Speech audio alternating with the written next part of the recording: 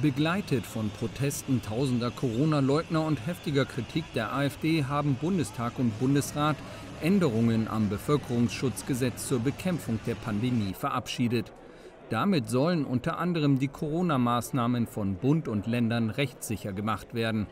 Geregelt werden auch der Aufbau von Impfzentren, die Finanzierung von Intensivbetten für Corona-Patienten und Entschädigungsansprüche von Eltern mit Kindern in Quarantäne.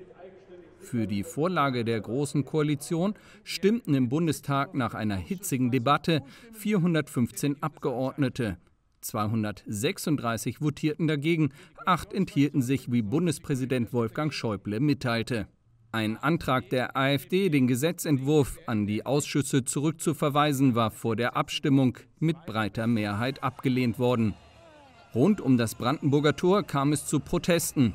Die Polizei löste während der Abstimmung im Bundestag eine Demonstration mit tausenden Gegnern der Corona-Auflagen in Berlin auf, weil sich die Teilnehmer nicht an die Hygienevorschriften hielten.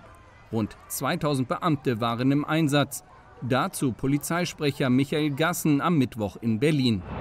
Es ist so, dass natürlich äh, unsere Maßnahmen ähm, abgewogen werden müssen. Sie müssen der jeweiligen Situation äh, angepasst sein. Sie müssen geeignet sein, ähm, zum äh, Ziel zu führen. Und sie müssen, und das ist ganz wichtig, sie müssen verhältnismäßig sein. Und daher haben wir hier den Wasserwerfer ähm, eingesetzt in Form von Sprühregen. Die Proteste fanden vor dem Hintergrund anhaltend hoher Corona-Infektionszahlen statt.